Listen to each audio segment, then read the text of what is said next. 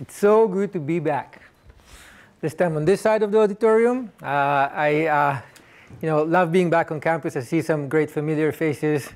Uh, and it's, uh, it's amazing to be back. And uh, you know, today I, I thought about uh, what, what would have been most valuable to me you know, if I sat in your seats. And then I said to myself, why would I need to think about it? I just need to go back you know, and think about it when I sat and watched ETL talks when I was in your seats, and that was not too long ago.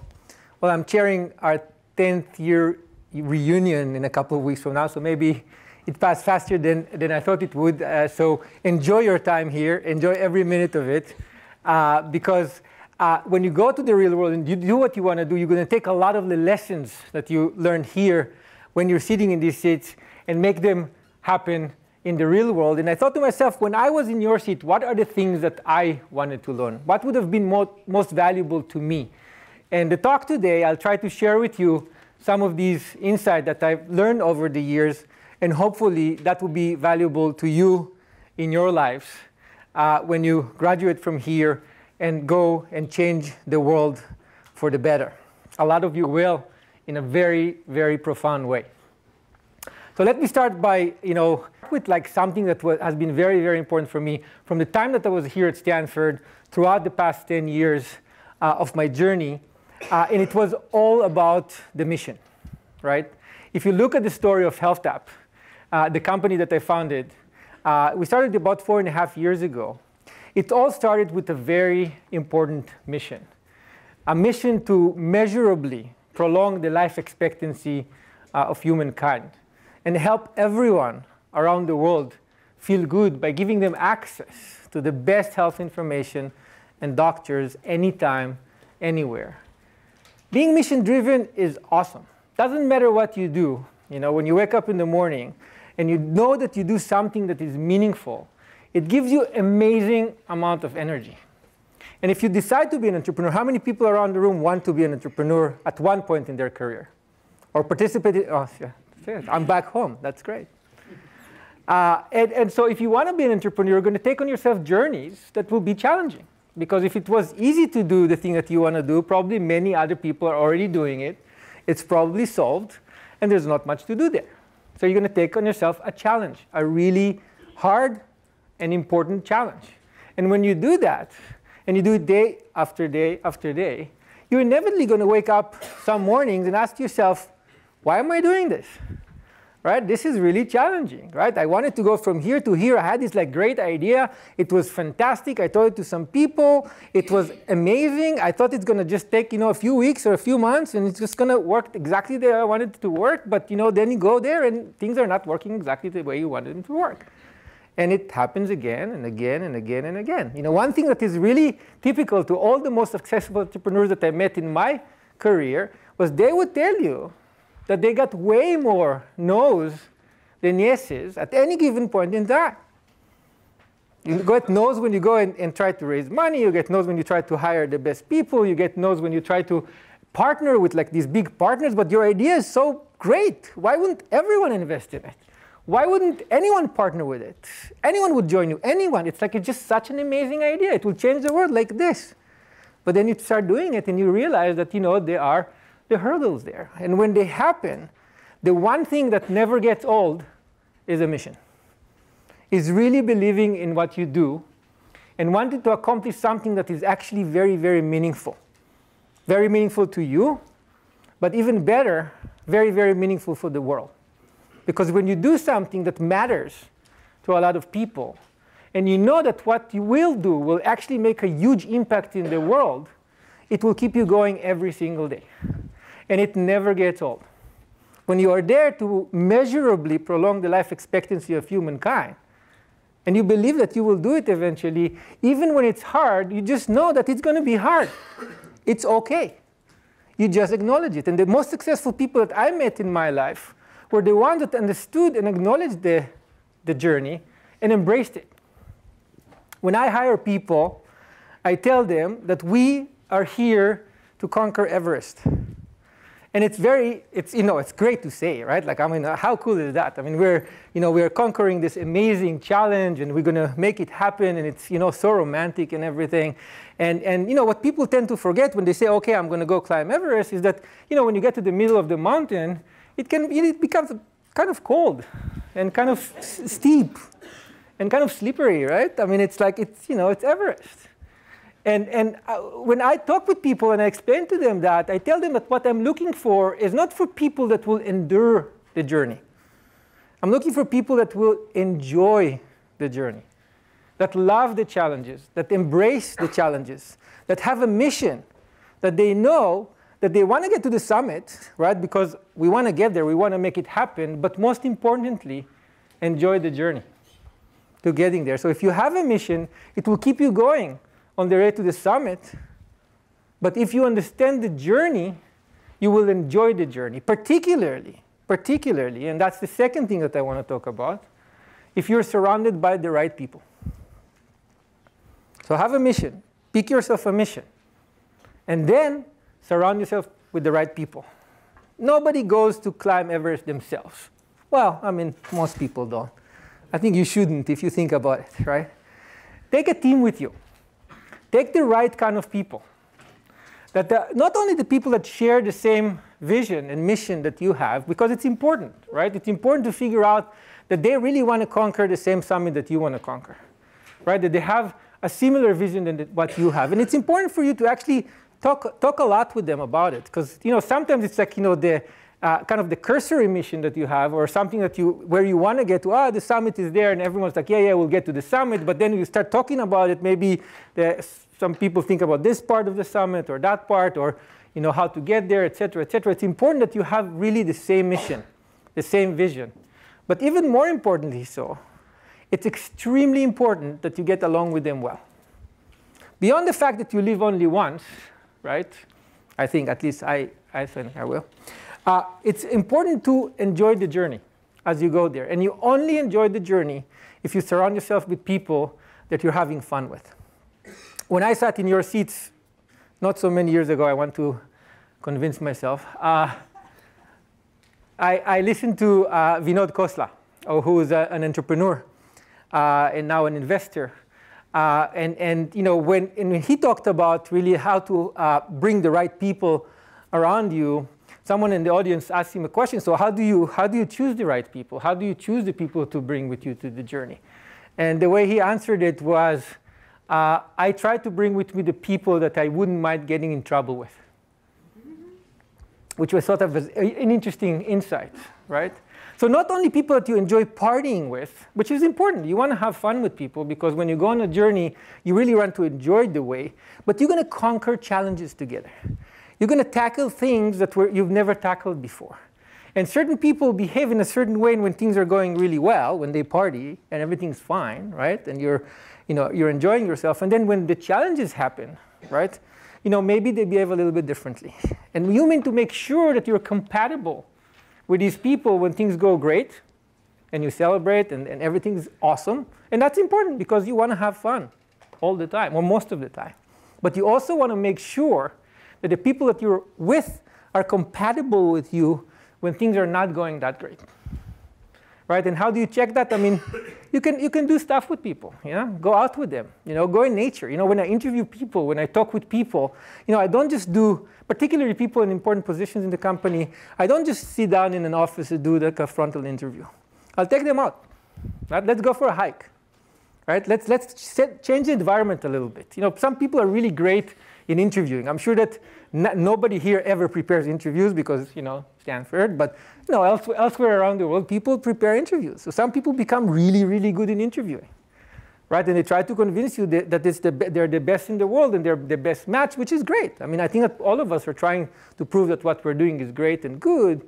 But if you want to figure out if the fit is great, take them out of the comfort zone, take them out of the office and start spending some time with them. The best thing in my mind is spending some time with them in nature, right? Go for a hike, you know, go outside, talk, walk, right? Have a conversation. Try to talk about scenarios and don't just ask questions that are interview questions, right? Try to talk about scenarios, you know. Tell me about a time that you did this and that, and let's have a conversation about it. How did it unpack? What would you think about that and that when you did that? Not just give me a set of actions of what you did, but hey, try to unpack for me how you think a little bit. Right? Particularly if you're thinking about co-founders or people that you are in the core team that you want to spend many, many years with. You want to take the time. You want to surround yourself by a bunch of people that you will enjoy working with, but we can also conquer challenges with, especially if you have a very important, very lofty mission uh, that you want to accomplish, because that's not going to happen in like two months. It's not going to happen in two years either. Right? There's a long journey that you're going to go with together. And for, to be, make sure that you enjoy it and make sure that you actually conquer it together, make sure that it's a good fit. Right? So a lot of you will spend a lot more time with your co-founders or with people in your core team than you spend with your spouses right? So, so think about it, right? So it's, it's an important decision, uh, and it's an important decision to, uh, to keep on an ongoing basis. So we have, you know, we have a hairy and audacious, you have a, a mission that is very important. We have the people around us, right? And we need to make sure that we, once we have the mission and we have the people around us, we need to make sure that we continue talking about the mission and make sure that all of us are sharing it uh, together. And that's an extremely important point. It's not that just at the very beginning of the company you define to yourself what is the, you know, the mission and the vision of the company, but how you keep it going all the time and keep it fresh and make it something that is meaningful. At HealthTap, when we started the beginning, before we wrote the first line of code, and actually, in fact, before we wrote the first sketch on a napkin or any you know, Balsamiq you know, sketch on an iPad, we actually spent uh, almost two weeks defining a vision and credo for the company and writing to ourselves in detail what are the values that are very, very important for us? What are the things that we stand by? What are the things that we stand for? What are the things that are important for us to make what we want to make happen? And we thought about these values, and you know, this, there's, a whole paradigm there that says, oh, you need to have maybe like six to eight, or well, you know, like there are different people think about it differently, or like how many values you need to have. And we said to ourselves, let's just outline all of the values that we believe in, and then try to figure out which are the ones that are most important for us.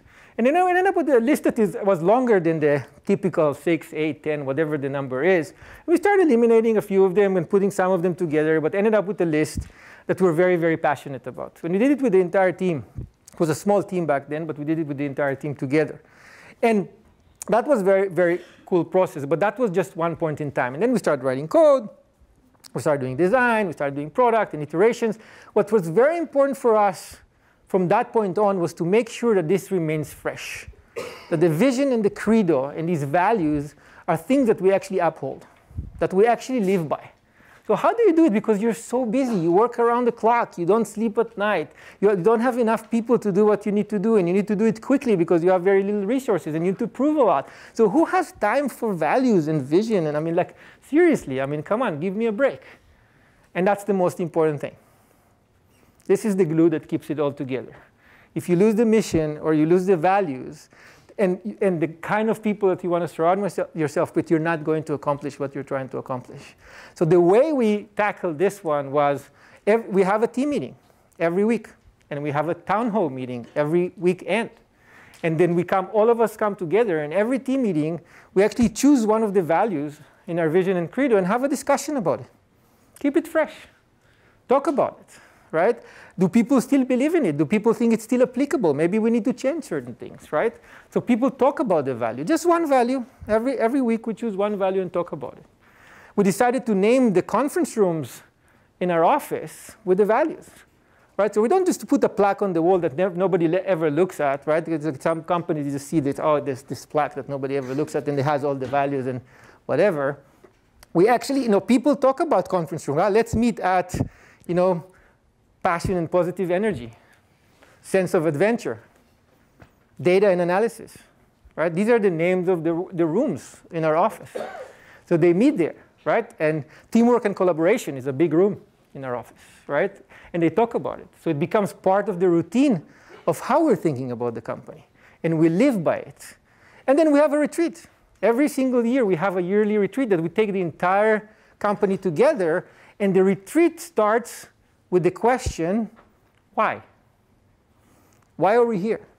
why are we doing what we're doing? So the same thing that we started the company, every yearly retreat starts with the question of why?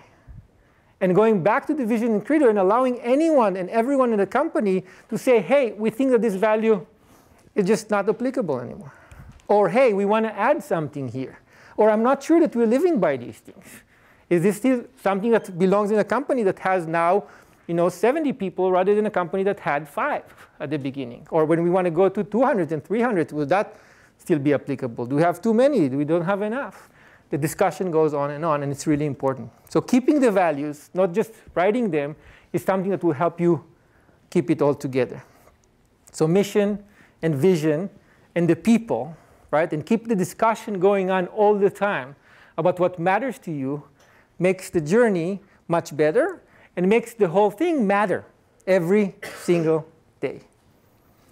The third thing that I want to talk about is hairy and audacious goals, right? So uh, I think that each and every one of you, if you came here to this school, and each and every one of you all over the globe that takes the time to watch uh, this talk has some hairy, audacious goal in mind of what they want to accomplish in life, right? You, you are ready to put more energy, you're ready to put more soul and heart into do, doing something that is meaningful. Remember, we have a vision, we have a mission, we're surrounded by great people, but how big the vision is, right? Is the, is the vision as big as, oh, let's make $100 million or a billion dollars?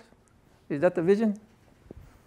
Is that really hairy, audacious goal? Maybe. I mean, you know, there are some professions that it's all about making money and it's fine. But is there something more to life than that? Is there something more to what you want to accomplish in life than that, and how big the thing is. And how do you measure how big it is?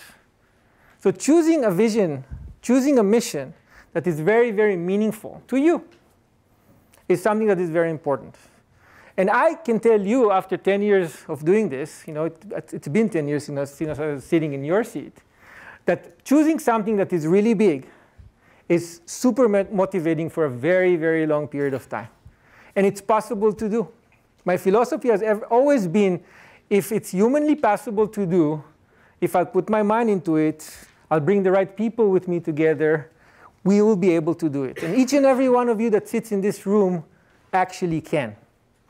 So when you choose what you want to do in life, when you think about you know, what you want to do with yourself, whether as an entrepreneur or if you want to work for a company, that does certain things, I really highly recommend to you to think about a goal and a mission that is very, very lofty.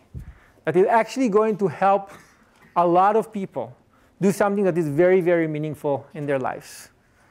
I chose health and well-being. I think health is something that underlies all of our lives. It's something, it's, an, it's something that empowers us to do everything else. It touches 100% of people. I can't tell you how motivating it is to go to work every day or to meet people now all over the world and around the country and tell them what I'm doing. It doesn't matter if it's in a cocktail party or when I meet family members or when I go to a meeting or I just travel and people ask me what I do. I'm very, very proud of what I'm doing because I can say that I'm saving lives every day. We get millions and millions of thank you notes uh, every from, from people all over the world, thanking our doctors. We have more than 68,000 doctors in our network today. And we're getting notes from people every single day thanking our doctors for the impact. And we got millions of them. And among them, more than 20,000 people send notes for us, thanking us for saving their lives. And that's amazing. I mean, I cannot tell you, I mean, like every single day, every single day, I still go back to my notes. And when I need a moment to just feel good myself, I just read these notes. And you will be surprised how this never gets old. It never gets old to read a note from someone that say, thank you for saving my life, and here's how you saved my life, my husband's life, my child's life. It never gets old. If you look at the hierarchy of needs and where, you know, Maslow's hierarchy of needs, which I'm sure that all of you encountered around your time here at school, you'll see that at the top of the pyramid, there's self-actualization and helping others feels better than anything else. Sure, you need to do the basics. You know, everyone needs to eat, and everyone needs to have the basics. But at the end of the day, if you find yourself a mission and a vision of doing something that is very, very meaningful, in my case, it was like you know helping people improve their health and well-being, saving lives every day. It does not get old ever. And if you can combine the two together, and create a livelihood around something that actually makes such a big impact on humanity, it will keep you extremely motivated throughout your entire journey. And that's a lot of fun. So we had mission, vision, we had people, that's very important. Now we have a very, very hairy and audacious goal that we want to accomplish uh, in life. And, and it's very important to us to, to think about, you know, how can we, you know, bring it to, let's, let's land it for a second. How do we make it happen? So what's the most important thing now that we have the vision, the mission, the people, the big goal? Now we need to make it happen. So what kind of advice, yeah, someone said it here. What kind of advice can I give you about that? And then I'm going to go back to the product. Right? At the end of the day, you know, maybe, you know, as a product guy, you know, sometimes for a hammer, the entire world looks like a nail a little bit, but it, it's okay, right? So I think it's all about the product. I think it's all about the people that you're serving. If you decide to change the world in a certain way and just have a big strategy, you know, we, we love thinking strategy, we love thinking big things without thinking about, oh, if we do this and how it impacts that and the markets and the, you know, like, you know, we, we can think big. You know, we, we learn at Stanford to think big, right? So think strategy. And I will tell you, think about the use case. Boil it down to the need. Think about what's there. In, if you look at the big picture of what you're trying to solve, trying to boil it down to the essence. What really matters? Where is the need and where it lies?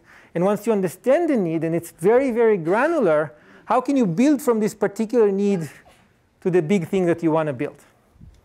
When I started Health HealthTap at the beginning and I wanted to change healthcare, I really wanted to change healthcare. I thought that healthcare is broken. I thought that there's so much to solve in it. Like it's, it's impossible. If you look at how people manage their health, if you look at healthcare cost, I mean, there's, it's a huge global challenge to solve.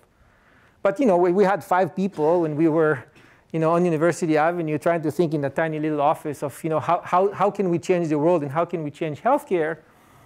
As a product guy, I had to think about the basics, the most granular thing. And the way I did it was very, very simple. I went all the way back to caveman time. And this is how I think about the product at the beginning. It's, it's been very, very good for me throughout my entire career to really take the experience all the way back to caveman time. Because if you think about it for a second, any successful and extremely useful digital experience that you are using extensively in your life, if you boil it down to the essence, it was extremely similar to the ways things were done in caveman time. If you boil it down to, uh, by the way, I, am a huge believer that as, as human beings, we have not changed a lot since then. I, I'm, I'm very serious about that. Think about it. At the essence, right, of what really matters. And particularly if you want to build something that scales, that needs to be applicable to all people, you need to go to the granular essence of it. You need to understand what are the underlying human factors that will impact everyone. Think how simple and granular they need to be. So I went back all the way to caveman time and asked myself, how was healthcare practiced in caveman time? It's a good question, right? So there was, you know, there was a person that didn't feel well. They had something in their hand, maybe, and they went to a healer, right? Which was the, you know, how humanity was passing the health knowledge from generation to generation. So they were the wise people that had the health knowledge, and they were the healers. And a person went to the healer and told them, uh, "Oh, you know, I have a pain in my hand. It's been going on for, you know, uh, four or five days, and it's kind of like blue. Uh, what should I do?" And the healer gave them a spell and a potion and sent them back home. And 33% of the time they felt better because of the placebo effect. Uh, and it, it worked, right? And, but you know, interestingly enough, when you think about it, healthcare hasn't changed much since then. We still, the healthcare experience is exactly the same. But you're not feeling well, you go to Wading or to a doctor, right? And you tell them, you know, this is this is the, what's going on, and they give you maybe you know they're more than a potion and a spell, but you know, maybe there's a little bit more science there, right? But the experience, the healthcare experience, remained the same. So I said to myself, okay, so what's the granular experience? Well, it's a question and answer. You have a doctor, you have a healer, you have a doctor on the one hand, and you have a patient or a person on the other hand. And the first interaction is question and answer. So we took that, put it in digital channels. We started with pregnant women and moms, with pediatricians and obstetricians, and magic. Everyone understood it very quickly. It was very easy to communicate to the moms and the pregnant women. It was very easy to communicate to the doctors that you know they're going to do exactly what they always did. They're just going to do it using mobile devices or web interfaces. And everyone's like, oh, great. Now I can, instead of going reading on a website some articles, I can go and ask doctors questions. That's awesome. I understand the value proposition. Doctor understood it really well because they answer questions all day long. Now they did it just in digital channels. That's all, how it all started, with a handful of pediatricians and obstetricians and a bunch of pregnant women and moms. Fast forward, you know, 68,000 physicians, uh, more than 4,000 cities and towns across the country, doctors in 137 specialties today, impacting hundreds of millions of people all over the world. It's pretty amazing. And you know, if I, I always like saying that if I got a dime for every person that told me that doctors will never answer people's questions for free online, I would never need to raise money for this company ever. And 2.8 billion doctors answers later that we serve to people, and it's still happening every second now, I can tell you that you know, we had something amazing that happened there because we started with something extremely simple, something extremely granular. So we started with these questions and answers that was very easy to do, and today doctors are answering questions. You can access doctors from any mobile device or web connection, and by the way, now from wearables as well right? So we just announced our first app on the Apple Watch. So it was the first ever uh, app, healthcare app on the Apple Watch. You can push a button on the watch, swipe the phone, and you see a doctor here in seconds. Right? So that's the generation, that what you can do today. Right? So you have a button on the watch and see a doctor here in seconds. Right? But it started with questions and answers. Doctors are answering questions on HealthTap. They're creating tips. They're curating news all over the web. They're rating apps health apps. There are more than 100,000 health apps in the App Store, so do doctors are helping by rating them. And as of lately, a few weeks ago, doctors started rating medications. So you can go to Health HealthTap today because we have such a big army of peace of doctors that are available to interact with patients, but they're also available to interact with one another. And what they started doing is rating medications. Right? So you can come to HealthTap, and just like you go on Amazon or on Yelp, you can actually go to a condition page and see all the medications that are used to treat this condition. And you can actually see how they're, how they're rated against each other for efficacy, how effective they are, one to five stars, just like you would do with like any product or service that you use to anywhere else. And that was not possible before. And someone calculated to us what would, and we have more than 5,000 medication indication pairs now in HealthTap, right? And if you think about it, clinical studies for drugs, right, when they're approved, are done as a drug versus placebo, one drug versus placebo. Very rarely when they're compared to one another. Why? Because it's very, very expensive. To run the experiment that we're running right now, right, with thousands of drugs, right, and thousands of indications would cost billions of dollars, even if you did it in one point in time. And we're doing it on an ongoing basis in just one engagement that the doctors are doing right now. It's amazing because for the first time ever, you can actually compare efficacy of drugs for particular indication because we have 68,000 doctors and they're engaged.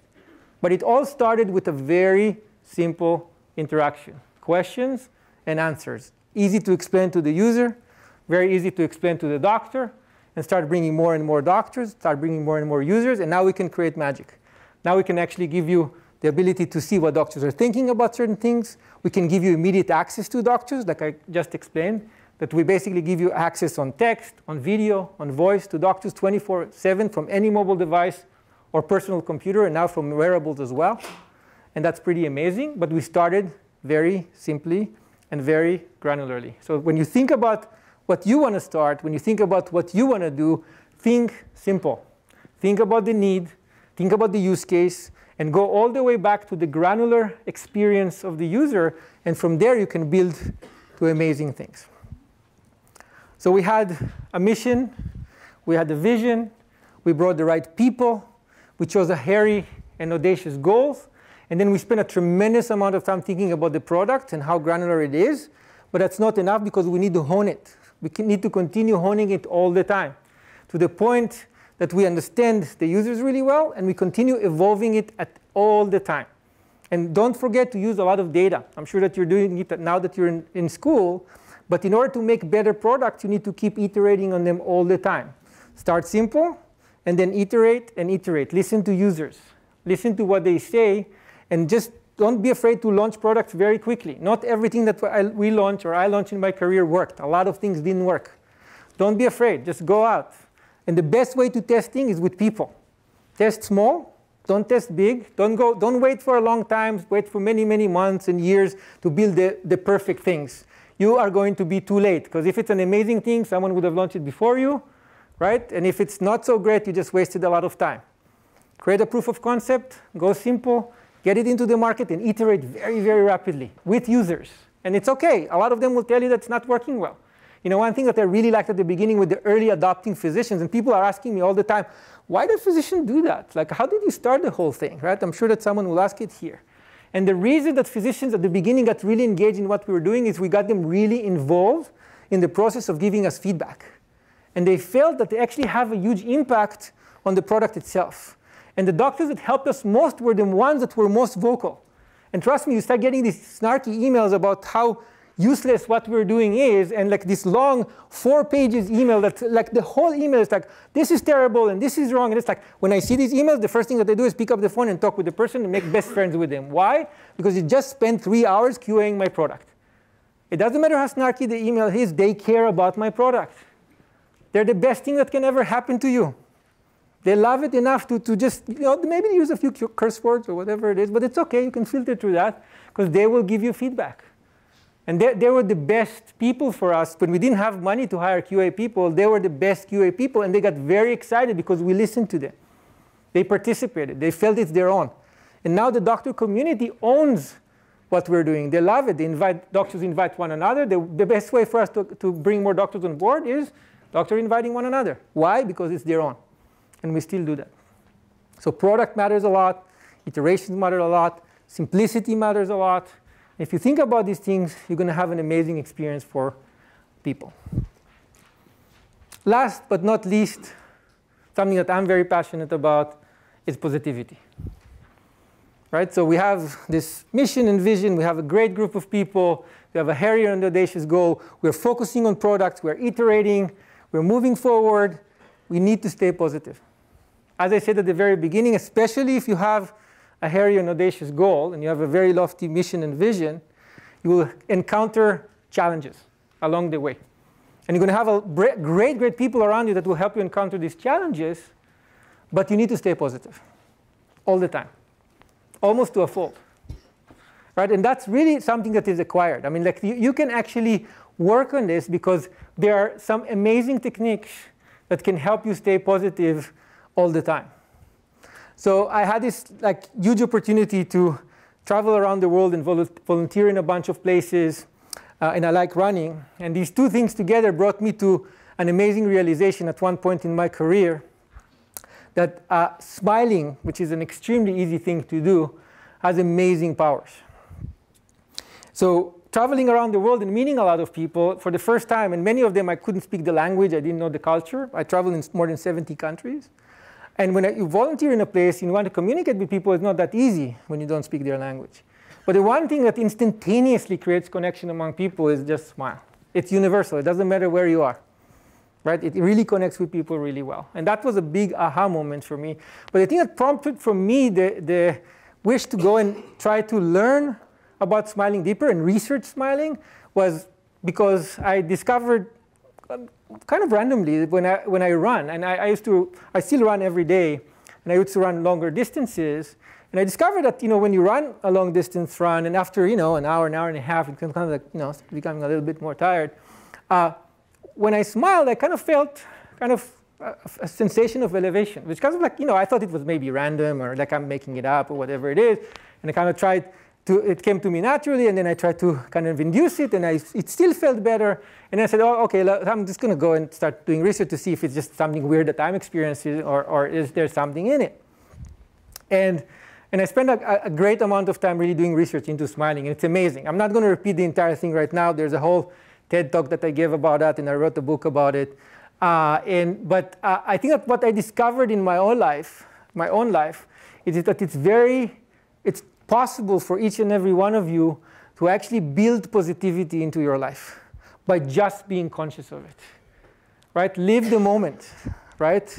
And yes, you have this hairy and audacious goal that you want to accomplish, which can easily put you in a position, easily put you in a position that you're going to be frustrated all the time. Right? Because if you climb Everest and you keep thinking about the summit all the time, you are going to be frustrated most of the time because you're not on the summit yet. Right? So if you keep thinking about the challenges and why you are not where you really want to be, you're going to spend your life being frustrated. On the other hand, there are a lot of great things that happen to us every single day that are a lot of fun. And if you live in the moment, and that's the biggest learning point that I can tell you about my research on smiling, is that if you live the moment and you surround yourself by things that remind you that life is great, right? You live in a place that has amazing weather. You know, it's spring outside. It's like the, the flowers are unbelievably amazing. Look at them. I mean, they're gorgeous. It's sunny here, right? Every single day. You're surrounded by amazing people. You're doing something that you're really passionate about every single day right? So life is awesome, even when it's challenging. And if you pause to remind yourself that every single day, and even better if you surround yourself with people that help remind you that every single day, the journey becomes so much better. And positivity is a set of mind. It's something that you can just decide to become positive. And be, being aware of it in the moment is something that will bring you back to it. And I use anchors, right? I call it my dandelion list. Right? There are certain things in my environment that I kind of tag them as smile inducing. I just decided, have a list that I decided that whenever I see one of these things, it will just remind me to smile. And I make sure that these are things that are, you know, I encounter in my environment every now and then. And they're kind of like, you know, they're reminders for me. Like, oh, I see this, like, oh, that's fine. There's some people that make me smile and other things. So this is my little technique, but you can do it however you want to do it. But deciding to remain positive is extremely important when you're conquering these kind of challenges. So let me start again, and then I'll pass it back to you. Mission and vision, having the right people around you, making sure that it's a big thing that you want to conquer that will make a big impact on people's lives. Focus on the product, focus on the detail, keep it simple, but do some, create something great, create something amazing, create something that inspires you. Think about what the details that make it amazing. And, and last but definitely not least, probably the most important thing, stay positive. Thank you.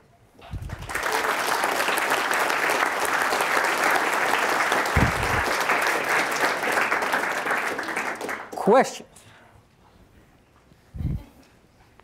No questions. Great. Yeah.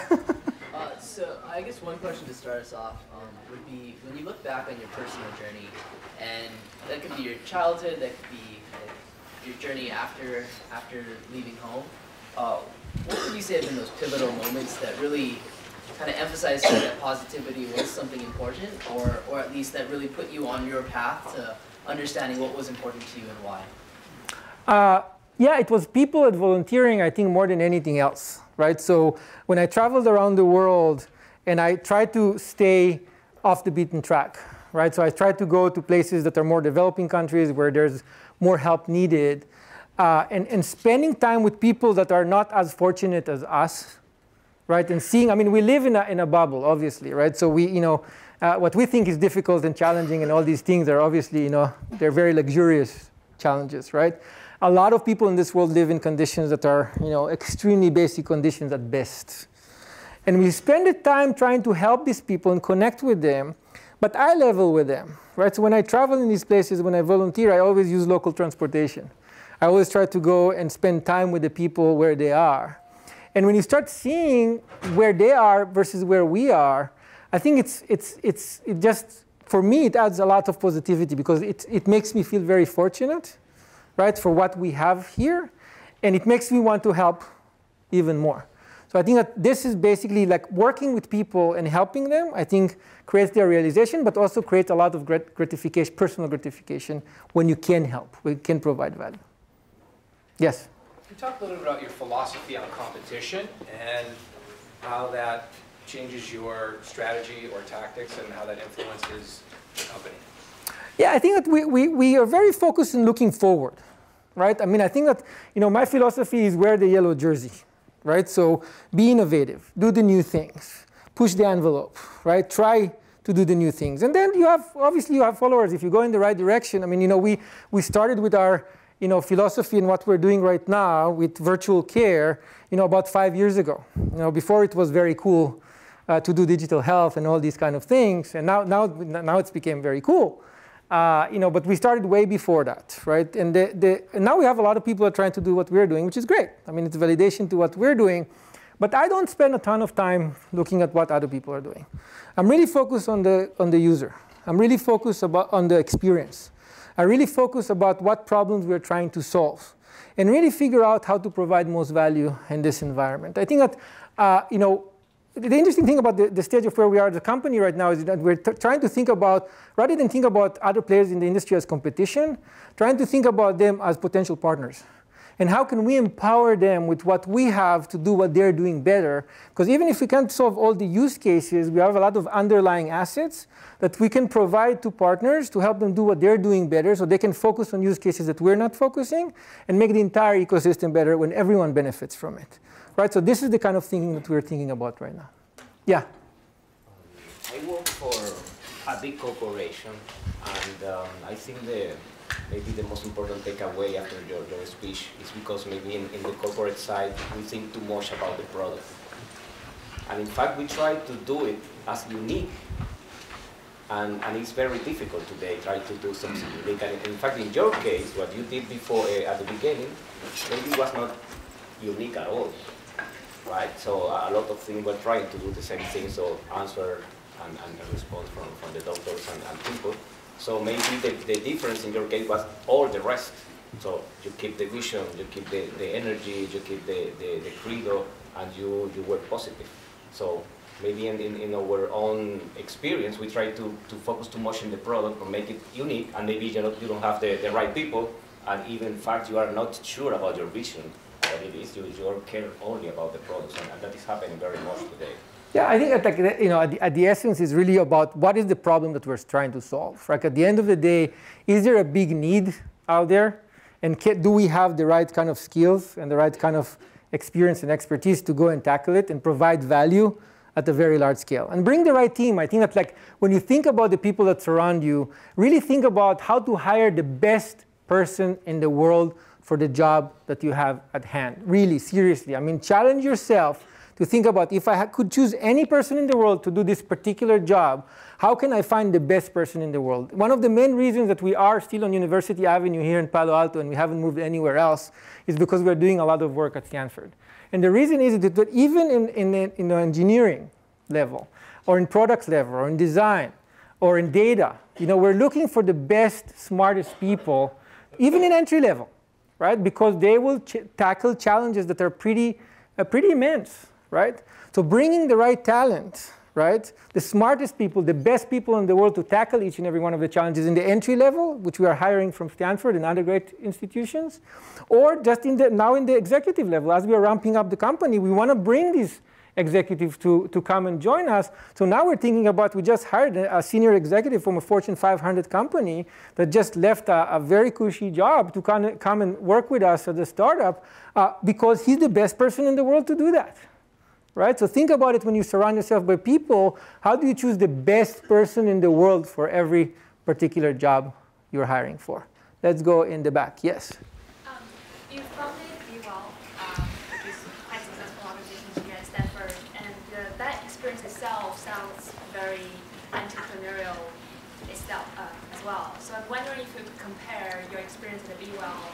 And experience at HealthTap from an entrepreneur's perspective. How are they similar or different? Um, how does how did the experience from BeWell contribute to your later experience? Yeah, I mean, look, I mean, entrepreneurs always look for opportunities to make an impact, right? So, they, you know, real entrepreneurs always look for broken stuff, right? Like, where, where I always look for what's not exactly the way it should be, and how can I go and build something, right? I always want to build something. I always want to fix things, right? So if you are at Stanford right now and you're surrounded by you know amazing people, but there are also a bunch of challenges around, and there's nothing better than starting to hone your skills of tackling challenges by just going and doing it. Particularly in an environment, a great environment like that, when you have unbelievable access to talent, for free, right? Like you can just put a, like I, I, put a multidisciplinary group of graduate students and faculty that if I had to hire them in the real world, it would cost me a tremendous amount of money. But when I was at Stanford, it was like just like a study group. We just got together a couple of times a week. We spent hours together on whiteboards, thinking about stuff, doing research. With the university gave us a lot of like opportunities to do research, right? Primary, secondary, right? Spend a lot of time with them together and learn a tremendous amount in the process. So we make it, made it applicable, so it's not just academic research, but we actually try to apply it to an actually a, real world problem. But you can actually bring some of these most amazing people around you and experiment, right? Experiment rapidly with things that are good ideas and see how they work in an environment that is a great environment like, like Stanford, and with visionary people like John Etchemendy, the provost at Stanford, and several other people here, they will give you the, the amazing opportunity to do certain things that are very big if you are committed to it. And if you want to take the challenge on yourself. So I, I, I, really, I think that you should try it every single day. Just find the right people, find the right challenges, go and practice, go and, and, and train for what the, the world is waiting for afterwards. Yes? You mentioned being an entrepreneur has a lot of challenges. Could you share with us what was the biggest challenge you've had to being an entrepreneur? Yeah, absolutely. I think that the, the, the most important challenge as an entrepreneur is what I said you know, a couple of sentences ago is really finding the most amazing person for every position in the company. Right? It's the number one most important thing right? So I think that it's, and it's very easy to compromise, right? It's very easy to say this is good enough, right? Like, oh, you need to run very fast and you have like deliverables and you know, you don't have enough resources and you need to just run, run, run and accomplish really big things. So, oh, and people are coming and it's like, well, you know, this is, this is, he's a great person or she's a great person and, and think that's very skillful, but you know, maybe cultural fit not that great, right? So, but we really need someone to do this job because if we're not going to do this job, we're not going to meet the deadline. If we're not going to meet the deadline, oh my God, who knows what will happen, right? And I think this is short-term thinking.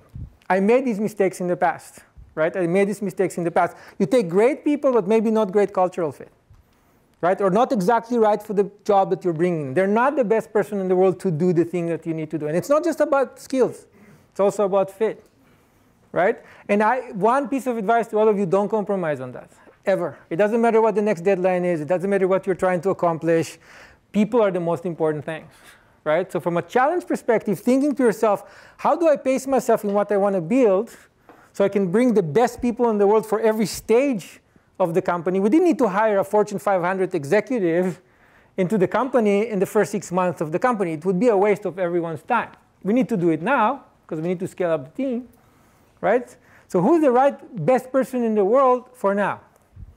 right? And don't compromise. Never compromise. Yes? Um, so we hear a lot from, from entrepreneurs like you that failure is important and that not being afraid of failure is an important road to success.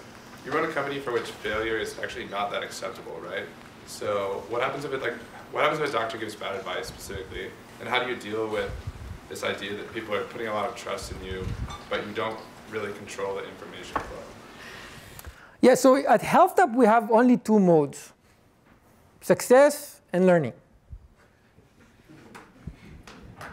Thank you. And I think it's a very important state of mind, right, at the end of the day. I mean, we are human. We're fallible. We'll make mistakes. That always happens, right?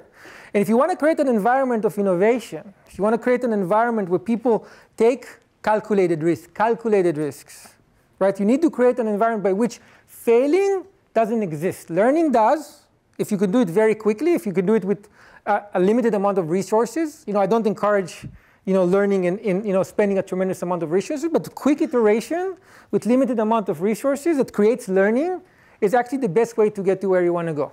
It's a very iterative process. So I don't look at learning as failure, right? As long as you don't repeat mistakes again and again and again, right? So you can make new mistakes, as long as you make new mistakes every day, it's fine. It's all good.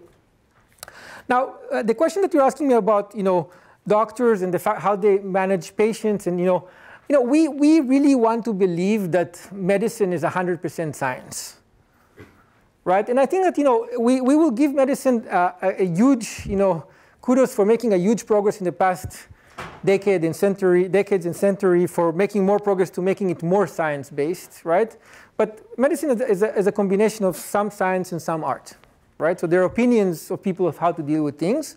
We're trying to bring as much data as we can and put opinions of many doctors rather than one doctor, like we did with RateRx, when doctors are rating medications and providing data to you to make choices. But you know, different doctors have different opinions, right? When you look at RateRx and how doctors are rating medications, you see that there's a difference there, right? So they have an opinion, right? So it's not about right or wrong. It's about trying to bring enough data, right, from multiple sources to help doctors make better decisions in context. I think the fact that we are building digital channels and everything that's done on HealthTap is recorded.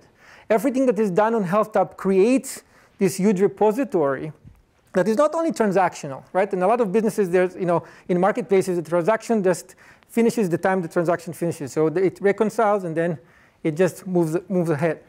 On HealthTap, the knowledge is captured, right? And, and we're learning by, you know, the, the, you know, when we get from people uh, information and we get more data, the, the, the HealthTap itself learns a lot.